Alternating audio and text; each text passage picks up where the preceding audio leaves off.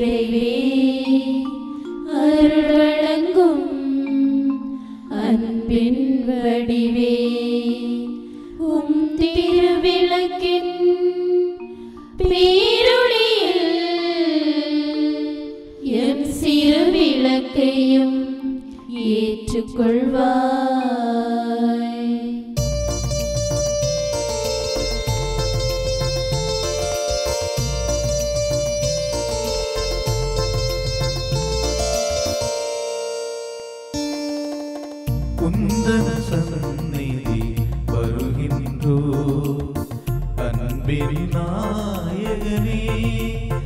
தேவா உந்தன் சந்நிதி வருகின்றோ அன்பின் நாயகனே. அன்பிலே நாங்கள் அரசொன்று அமைக்க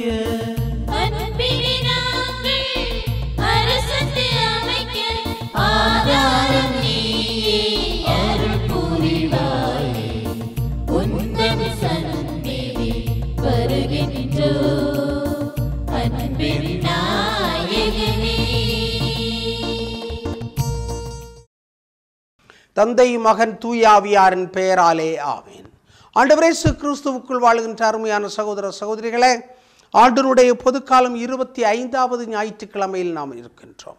இந்த தினத்திலே நமக்கு அருமையான ஒரு செய்தியை ஆண்டவர் கொடுக்கின்றார். இந்த செய்தியானது நமக்கு மார்க்கு நற்செய்தியிலிருந்து எடுக்கப்பட்டிருக்கிறது. மார்க்கு நற்செய்தி பிரிவு ஒன்பது முப்பது முதல் முப்பத்தி ஏழு வரை உள்ள இறைவார்த்தைகள். அக்காலத்தில் இயேசும் அவருடைய சீடர்களும் புறப்பட்டு கலிலே வழியாகச் சென்றார்கள். அது யாருக்கும் தெரியக்கூடாது என்று இயேசு விரும்பினார். ஏனெனில் மானிட மகன் மக்களின் கையில் ஒப்புவிக்கப்பட இருக்கிறார். அவர்கள் அவரை கொலை செய்வார்கள். கொல்லப்பட்ட மூன்று நாட்களுக்கு பின் அவர் உயிர் தழுவார் என்று அவர் தம் சீடருக்கு கற்பித்து கொண்டிருந்தார். அவர் சொன்னது அவர்களுக்கு விளங்கவில்லை. அவரிடம் விளக்கம் கேட்கவும் அவர்கள் அஞ்சினார்கள். அவர்கள் க கப்பர் கப்பர்நவுமுக்கு வந்தார்கள். அவர்கள் வீட்டில் இருந்த பொழுது இயேசு வழியில் நீங்கள் எதை பற்றி வாதாடி கொண்டிருந்தீர்கள்? என்று அவர்களிடம் கேட்டார். அவர்கள் பேசாதிருந்தார்கள். ஏனெனில் தங்களுக்குள் பெரியவர் யார் என்பதை பற்றி வழியில் ஒருவரோடு ஒருவர் வாதாடி கொண்டு வந்தார்கள். அப்பொழுது அவர் அமர்ந்து பன்னிருவரையும் கூப்பிட்டு அவர்களிடம் ஒருவர் முதல்வராக இருக்க விரும்பினால் அவர் அனைவரிலும் கடைசியானவனாகவும் அனைவருக்கும் தொண்டராகவும் இருக்கட்டும் என்றார். பிறகு அவர் ஒரு சிறு பிள்ளையை எடுத்து அவர்கள் நடுவே நிறுத்தி அதை அரவணைத்து கொண்டு இத்தகைய பிள்ளை சிறு பிள்ளைகளுள் ஒன்றை என் பெயரால் ஏற்றுக்கொள்பவர் எவருமே என்னை ஏற்றுக்கொள்கின்றார்.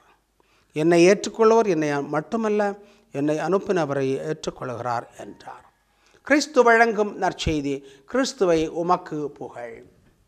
இறை இயேசுவுக்குள் வாழ்கின்ற அருமையான என் சகோதர சகோதரிகளே இந்த நாளிலே ஆண்டவர் நமக்கு பயங்கரமான ஒரு செய்தியை கொடுக்கிறார். நல்ல ஒரு செய்தியை கொடுக்கிறார். சிறு பிள்ளைகளாக நீங்கள் ஏற்றுக்கொள்ள வேண்டும்.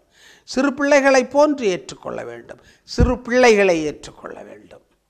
சிறு பிள்ளைகளை ஏற்றுக்கொள்ள. எனவே நாம் இன்று சிந்தனைக்காக எடுத்திருக்கக்கூடிய தலைப்பு என்னவென்று சொன்னார்? சிறுவர்களை ஏற்போம் சிறப்பு பெறுவோம். சிறுவர்களை ஏற்போம் சிறப்பு பெறுவோம். சிறுவர்களாக மாறுவோம் சிறப்பு பெறுவோம். சிறுவர்களுடைய மனநிலை கடந்து செல்வோம் சிறப்பு பெறுவோம். என்று சொல்கின்ற பல்வேறு விதத்திலே நாம் சிந்திக்க முடிகிறது. உலகத்தினுடைய வாழ்க்கையை நாம் பார்க்கின்ற பொழுது பல்வேறு மனிதர்களை நாம் எடுத்துக்காட்டாக கொள்ளலாம்.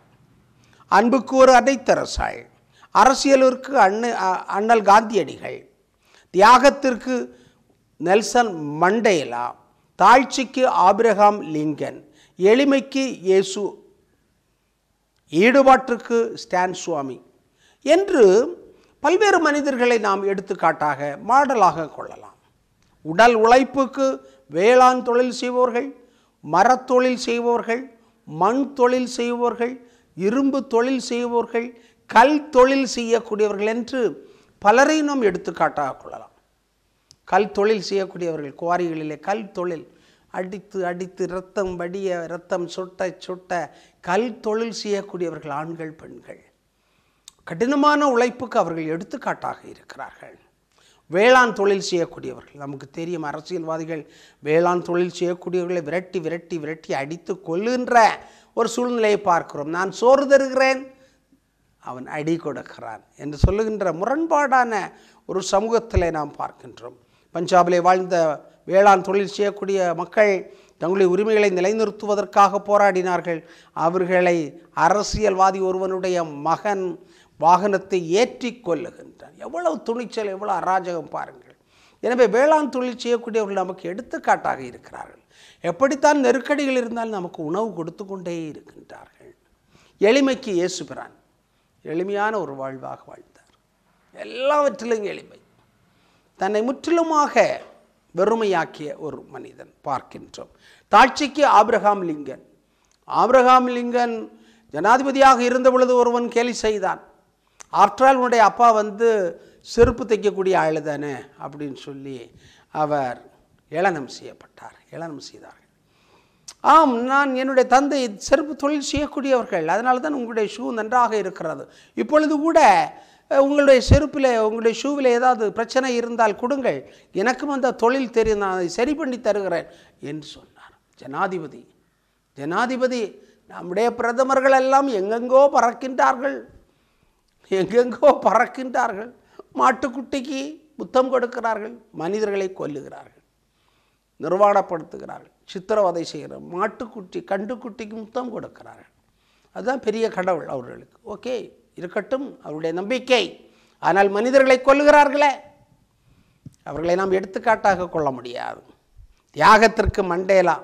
இருபத்தி ஏழு ஆண்டுகள் அந்த சிறைச்சாலையில் கிடந்து துன்பப்பட்டு துயரப்பட்டு அல்லல்பட்டு தனிமையிலே து- வருந்தியவர்கள் வாடியவர்கள். ஆனால் விடாமுயற்சியோடு சுதந்திரத்துக்காக போராடினார்கள். அரசியலுக்கு என்னை பொறுத்த மட்டும் அண்ணல் காந்தியடிகள் காரணம் அதற்காக தன்னுடைய தொழிலை துறந்து யாகம் செய்து அரை நிறுவன பக்ரி என்று அழைக்கப்படுகின்ற அளவிற்கு சென்ற பொழுது கூட அவர்கள் அந்த அரசியல் பிடிப்பில் சுதந்திரத்துக்கான போராட்டத்தில் வேட்கையில் அவர்கள் நிலைத்து விட்டார்கள். எனவே எனக்கு அது ஒரு எடுத்துக்காட்டாக இருக்கிறது. அன்புக்கு அன்னை தெரசாள் மேட்டுக்குடியில் பிறந்து விழுதும் தெருவில் இருக்கின்றவர்களுக்காக தன்னை வெறுமையாக்கி தாழ்த்தி கொண்டு எல்லாரையும் அரவணைத்து ஏழைகள் எளியவர்கள் தொழுநோயாளர்கள் எல்லாரையும் அரவணைத்து அன்பு செய்தார்கள். அந்த அன்புக்கு ஈடு நாம் செய்ய முடியுமா என்று சிந்திக்க வேண்டியிருக்கிறது ஆக இப்படிப்பட்டவர்களெல்லாம் எடுத்துக்காட்டாக இருக்கின்ற பொழுது இயேசு ஒரு சிறு குழந்தையை வைத்து எந்த குழந்தை ஏற்றுக்கொள்வது போன்று ஏற்றுக்கொள்ள வேண்டும். இறையாட்சியை என்று சொல்கிறார். இறையாட்சிக்கு குழந்தைகள். குழந்தைகளுடைய மனநிலை தெளிவான மனநிலை திறந்த மனநிலை அன்பை ஏற்றுக்கொள்கின்ற மனநிலை சிரிக்கின்ற மனநிலை மகிழ்ச்சியாக இருக்கின்ற மனநிலை. எல்லோரையும் சமமாகத்தான் பார்க்கும். அதனால் குழந்தை வளர வளர அதனுடைய மனநிலைகள் மாறுகிறது. ஏன் இந்த உவமை ஆண்டவர் சொல்லியிருக்க வேண்டும்?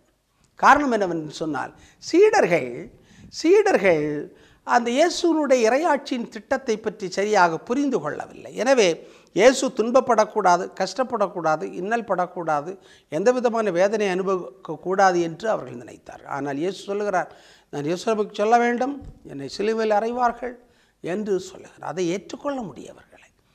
ஏற்றுக்கொள்ள முடியவில்லை. எனவேதான் அவர்களுக்குள் சாதாரணமான அரசியல் கட்சிகளுக்குள் இருப்பது போன்ற அதிகார மோகம் அதிகார சண்டைகள் நடந்து கொண்டே இருப்பதை பார்க்கிறோம். யார் பெரியவன்? யார் பெரியவன் என்று சிந்திக்கின்ற பொழுது பல்வேறு விதத்தில் சீடருடைய மத்தியிலே பிளவுகள் ஏற்படுகிறது.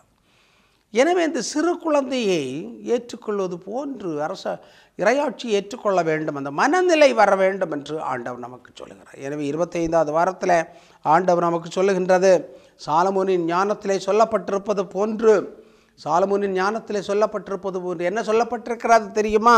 சாலமோனின் ஞானத்திலே நீதிமான்களை கொன்றொழிக்கின்ற ஒரு சமூகத்தை பற்றி சொல்லியிருக்கிறார்கள். எனவே அன்புக்குரிய சகோதர சகோதரிகளை இருபத்தி ஐந்தாவது வாரத்தில் சிறு குழந்தைகளை ஏற்றுக்கொள்வது போன்று நாம் இரையாட்சியை ஏற்றுக்கொள்ள வேண்டும். இறையாட்சியை இயேசுனுடைய போதனைகளை ஏற்றுக்கொள்வது போன்று சிறு குழந்தைகளை ஏற்றுக்கொள்ள வேண்டும். சிறு குழந்தைகளை சமூகத்திலும் குடும்பங்களிலும் சபையிலும் சமமாக நடத்துகின்ற ஒரு பண்பாட்டுக்கு நாம் வளர்ந்து செல்ல கடமைப்பட்டிருக்கிறோம். அன்பியங்களில் சிறுவர் பாராளுமன்றங்களில் மறைக்கல்வி மன்றத்தில் சபைகள் சங்கத்தில் சிறார் இயக்கங்களில் அவர்களை நாம் வாழ்த்துகின்றோம் பாராட்டுகின்றோம் உற்சாகப்படுத்துகின்றோம் எல்லாவற்றையும் செய்ய வேண்டும். இன்னும் அதிகமாக சமத்துவமான ஒரு வாழ்வுக்கு இட்டு செல்லுகின்ற விதத்தில் அந்த சிறார்களை உருவாக்க வேண்டும். அந்த சிறார்கள் இரையாட்சி ஏற்றுக்கொள்வது போன்று இயேசுனுடைய மதிப்பீடுகளையும் நாம் ஏற்றுக்கொள்ள கடமைப்பட்டிருக்கிறோம். எனவே இன்றைய நாள் இனிய நாளாக இருக்க வேண்டும். இந்த வாரம் முழுவதும் உங்களுக்கு இனிய வாரமாக இருக்க வேண்டும். ஆண்டவர் இயேசு கிறிஸ்துடைய உடனிருப்பும் அன்பும் பாசமும் உங்களை வழிநடத்த வேண்டுமாய் மரியாவிஷன் சார்பாக ஜெபிக்கின்றோம். ஜபிப்போமாக. எங்களை எல்லாம் பாசத்தோடு படைத்து பராமரித்து வருகின்ற எங்கள் நல்ல தந்தை இறைவா இந்த நாளுக்காக இந்த பொழுதுக்காக ஜெபிக்கின்றோம். மரியாவிஷன் சேனலை பார்த்து கொண்டிருக்கின்ற அருமையான பிள்ளைகள் அனைவருக்காக வேண்டுகின்றோம். அனைவருடைய குடும்பங்களில் இருக்கின்ற பெரியவர்கள் மூத்தவர்கள் நோயாளிகள் தனிமையில் இருக்கின்றவர்கள் உடல் உழைப்பை கொடுத்து கொண்டிருக்கக்கூடியவர்கள் படிக்கின்றவர்கள் வேலைக்காக அலைந்து கொண்டிருக்கின்றவர்கள் அனைவருக்காக நாங்கள் ஜெபிக்கின்றோம். எல்லோரையும் ஆசுவைத்திரளும் நாங்கள் இரையாட்சியினுடைய மதிப்பீடுகளை ஏற்றுக்கொள்ளும் ஒரு சிறு பிள்ளையை போன்று ஏற்றுக்கொள்ள வேண்டிய ஆற்றலை எங்களுக்கு தாரும். பெரியவர்களாக இருக்க வேண்டும் என்று நாங்கள் விரும்புகின்றோம். ஆனால் கடையன் என்னும் கடையனாக பணிவிடை செய்கிறவர்களாக வாழ்வதற்கான மனநிலைகளை எங்களுக்கு தாரும். மற்றவர்களுக்கு பணிவிடை செய்வதெல்லாம் உண்மையாக பெருமை இருக்கிறது வலிமை இருக்கிறது ஆற்றல் இருக்கிறது மாண்பு இருக்கிறது என்பதை நாங்கள் உணர்ந்து கொள்ளச் செய்வீராக. இதனால் இரையாட்சியினுடைய மத்தியிலே வரச் செய்வீராக. மரியாவிஷன் சேனலை பார்த்து கொண்டிருக்கின்ற அனைவரையும் நிறைவாக ஆசிரியத்துள்ள வேண்டுமா எங்கள் ஆண்டவரும் உம் திருமகனுமாக இயேசு கிறிஸ்து வழியாக உம்மை பார்த்து மன்றாடுகிறோம் ஆமேன். தந்தை மகன் தூயாவியாரின் பேராலே ஆமேன்.